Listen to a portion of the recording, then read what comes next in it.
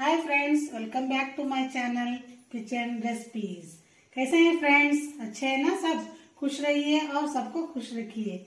आज हम बनाने जा रहे हैं बेसन की चकली। बेसन की चकली बड़े बच्चे सब भी बहुत पसंद करते हैं और अब बहुत फेस्टिवल सीज़न आ रहे हैं। इस फेस्टिवल सीज़न में सबको बेसन की चकली बहुत पसंद है। तो स्टार्ट करते हैं बेसन की चकली। हम ना बेसन की चकली बनाने के लिए एक कप चावल का आटा चाहिए। और कितना चावल का आटा लेते हैं, उसका आधा हमें बेसन का आटा लेना चाहिए। और इसे इसमें डालने के लिए हमें तिल चाहिए और अजवान चाहिए और रेड चिल्ली पाउडर, जीरा चाहिए, हल्दी चाहिए और स्वाद अनुसार नमक चाहिए और घी चाहिए। और आपको गर्म पानी चाहिए। हम एक बाउल ले लेंगे और उसमें चावल का आटा डाल देंगे और उसमें बेसन डाल देंगे और ये तिल उसमें डाल देंगे और उसके बाद में ये रेड चिल्ली पाउडर डाल देंगे और स्वाद अनुसार इसमें हम कितना चाहिए आपको उतना आप अपने टेस्ट के मुताबिक नमक डाल दीजिए और इसमें हम जीरा डाल देंगे और अजवाइन को थोड़ा हाथ से आपको ऐसा मसल कर डालना है और थोड़ी सी हल्दी हम इसमें डाल सकते हैं। देखिए फ्रेंड्स, आप चाहे तो इसमें फ़ूड कलर भी डाल सकते हैं, ये ऑप्शनल है।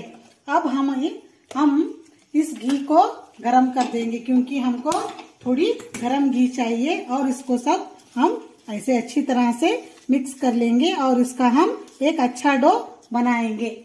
ये बेसन बेसन की चकली बनाने के लिए हमको थोड़ी गरम घी चाहिए। गरम घी से ही हम अच्छे क्रिस्पी चकली बना सकते हैं। अब हम इसको अच्छी तरह से मिक्स कर देंगे। देखिए फ्रेंड्स हमारा डो तैयार हो गया है। इस तरह से आपको भी डो बनाना है। अब हम चकली बनाना स्टार्ट करेंगे। ये चकली मेकर है। इसमें हम डो ये चकली मेकर है। इसमें हम डो को डालकर चकली बनाना स्टार्ट करेंगे। ये डो को इस तरह से लेंगे और इसमें हम डाल देंगे।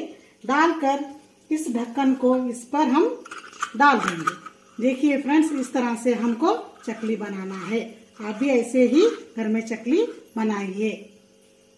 तो फ्रेंड्स हम एक प्लेट ले लेंगे और उसमें थोड़ा सा घी डाल लेंगे।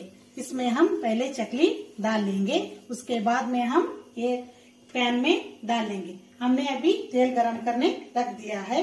देखिए फ्रेंड्स फ्रेंड्स हम इस तरह से पहले अच्छी तरह से चकली बना लेंगे और इस पर प्लेट पर डाल लेंगे और इसको ऐसा निकालना है।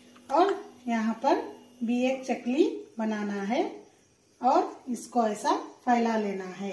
आप इसी तरह से अच्छे अच्छे चकली प्लेट पर पहले बना लीजिए, फिर उसे बाद में कढ़ाई में फ्राई कर लीजिए, क्योंकि इससे आपको चकली बनाने में कोई परेशानी नहीं आएगी। इस तरह से हम बचे हुए भी चकली बना लेंगे। हम इस चकली को इस तरह से तेल में डाल देंगे और एक एक करके ऐसा ही हम सब चकली को तेल में डाल देंगे। आपको धीमी आँच में पहले पकाना है।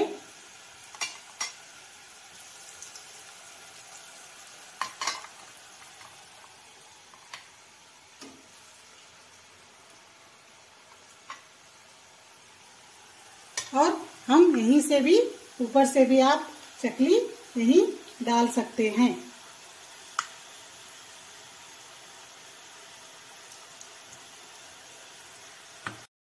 देखिए फ्रेंड्स हमारी अब चकली पक रही है, अब इसे हम पलटा लेंगे और इसको हम इसकी आँच भी धीमे से ज़ोर कर देंगे। देखिए कितनी अच्छी तरह से क्रिस्पी चकली बन रही है।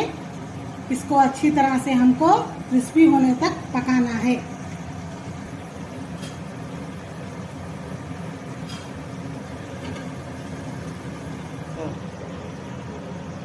चकली को निकाल लेंगे।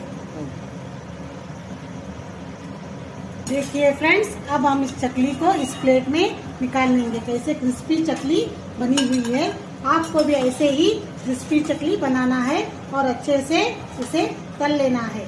देखिए कितनी खूबसूरती से ये चकली बन गई है और इसका साउंड देखिए कैसा आता है। इस, इसी तरह से हम बचे हुए आटे से चकली बना लेंगे।